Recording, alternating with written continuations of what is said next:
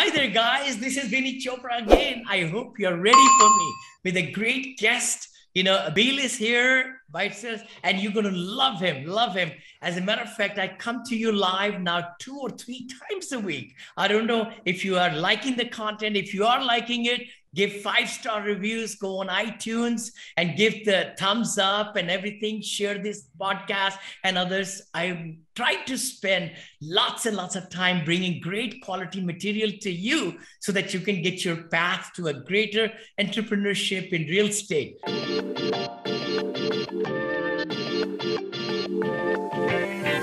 So today we're going to talk really great things. You know, our guest has really started in single family and flipping thousands of homes, 2,000, 2,000 single family homes. And then also, you know, raised over $60 million.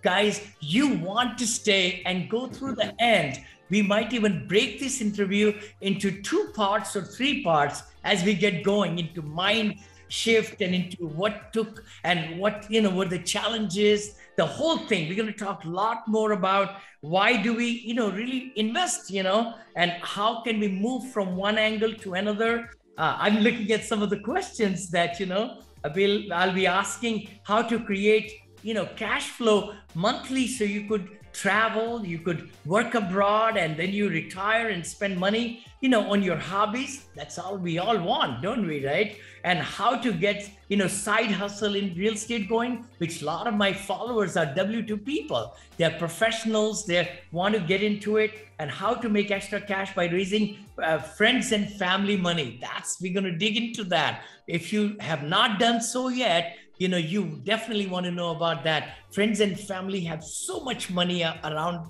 you know and you could harness that. And how to manage multifamily remotely while you travel the world. I love it. You know i've been doing it from here sitting in my office for 14 15 years in san francisco and i cover all over usa and all that in india. It's a beautiful yeah. thing. Yay bill hey brother. So let me introduce you formally. Can i? Huh yeah, yeah. Yes, yes, yes. Abel uh, is uh, started in his real estate career in 2005. It's 2022 coming up. 17 years of experience you're going to hear as a property appraisal while simultaneously increasing in the residential single family home sector after flipping over 2000 single family like i mentioned decades of residential sales transform into multifamily investments, syndication with his diverse experience and rehabilitation, rehabilitation of the properties and assets management. Abiel has raised over 60 million. It's very exciting, very exciting. And then you also started a management company, Abiel, and then you also founded United Dream Real Estate in 2014. Man, you are busy man.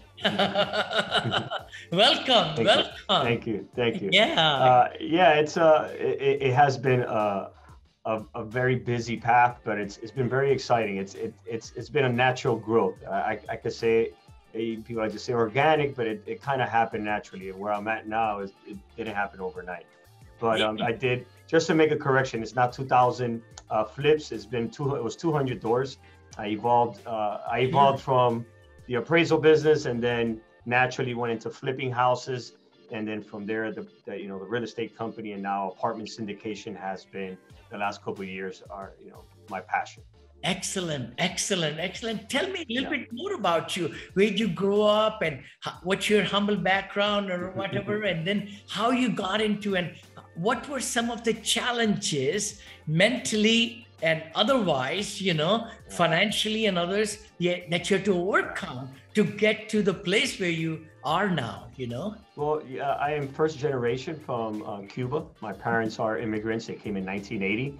I was very lucky that they they came in 1980 in a big migration that was very famous here in South Florida. It was called El Mariel. Uh, it was a, it was an era where um, Fidel Castro basically allowed people to exit the island in masses uh, so we came in multiple boats. Every masses of people were coming in boats. My parents were very lucky and fled the country, mm-hmm. and uh, we came to this great country that uh, accepted us with open hands. And uh, at a very early age, uh, I learned very fast what it is to you know, be around a working family. Both of my parents, hardworking, was something that was implemented day one in my life. And Uh, my dad was in the carpentry business. He was a carpenter in construction, and I would go with him at a very early age to a lot of the construction projects, uh, especially during summer school. Instead of going to summer school, I was going to work with my dad, you know, 12, 13 years old. And oh, 12, 13. I was gonna yeah, yeah, yeah. Oh, yeah, yeah. Child labor, the child labor. uh, I used to help my dad, and and, uh, and that's how slowly I started learning about construction. Uh, but I also knew that it, there was things in the construction business I did not like to do. Uh, but I, I, always was mesmerized by the size of the projects, and it, I was always thinking like, how do people buy this? Uh, you know, I, I, the financial education, my parents didn't have that. They were too busy trying to pay the bills as an early immigrant. Yeah. But the financial education was something I needed to teach myself to be able to understand how do you buy these big buildings? How do you buy this real estate? Like all the moving parts was something that I was always interested in learning. And that's what led me to the path of real estate. Uh, got into property appraisal, valuing properties. I had a nice two year run in the 2006, 2008 before the market crashed. Mm-hmm. And uh, yeah, so that was a really young real estate learning lesson. And when the market crashed, uh, I went from having 50 to 60 appraisals a month to having two or three. So reassessment really quick of what to do. Yeah, yeah. So immediately started uh, identifying uh, opportunities in flipping houses. Uh, they were extremely cheap. Um, I wish I would have known how much value they would have gained over time. I was very young, didn't understand that. Yeah. Uh, so I kind of rode the wave, but didn't really take as much of, uh, of a opportunity as I should have and bought and hold. But it was fine. That was the path that I took. Started flipping and flipping houses from 2009 to you know to the last four years. I evolved naturally into multifamilies because it made so much sense. What state did you flip them and all? Like they were these smaller houses, one bedroom, two bedroom, three bedroom, or how? It, it started. It started uh, every uh, any any well 2009, 2010. They were, they were so cheap, so I was buying single family homes, two bedrooms, three bedrooms, to small condos, uh, small duplexes and triplexes. Uh, there was deals everywhere. Yeah. Um, but there was also a lot of scared money. A lot of people didn't want to invest. They, they just took a huge hit. Uh, but the, it just it was just it was just. I remember I used to call REO agents, and that was the era when REO agents used to actually pick up your phone call. Uh, you know that that era where you could actually talk to an REO get agent. rid of them, yeah. they were like, yeah, take it off my hands. Yeah. Uh, later on in life, it just became so competitive that you couldn't. Yeah, it was hard to pick up deals.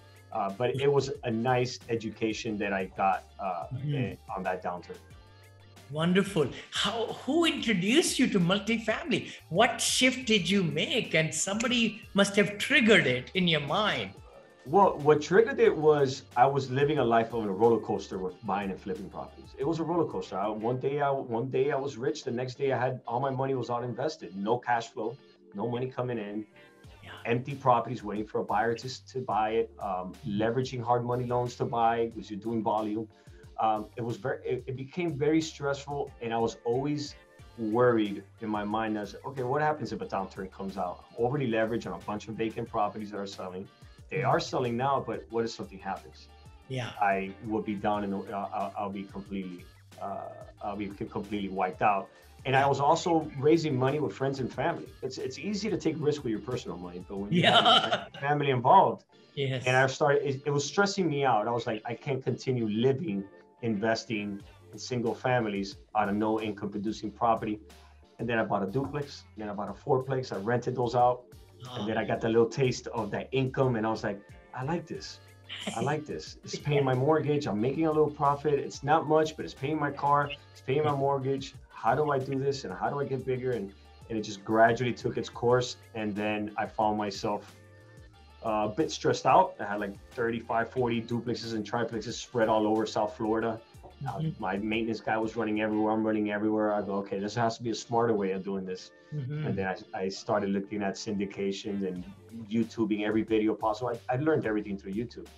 Oh, honest truth. You know, that's the biggest, biggest teacher. Everything. YouTube and Google, I say. You know, they are free and podcasts, of course. You know, it's all podcasts. Correct. Yeah, podcasts it's incredible. Everything I've learned it through there because I didn't have uh, I didn't have syndicators for large apartments around my circle at that moment. So I needed to I needed to learn how do they buy this, how do they do this, and it was all online. It just I just kept absorbing everything Uh, you know, just everyone like like you, just putting out their information for free.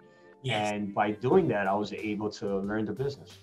Oh, thank you. No, that's yeah. one of my passion at this stage yeah. in, in my life to really spread the word around around the globe. Actually, my book, The Syndication Made Easy, I got 149 five star reviews in India. Here, that's awesome. Over here, that's I awesome. have close to 500 positive reviews reviews now. You know, praise that's the Lord. Awesome. People like that book, but you know, you're yeah. right. It's the knowledge because what somebody wants to learn, somebody has already done it. So why to reinvent the wheel, right? You know, I say, and then the fear comes, big time fear comes.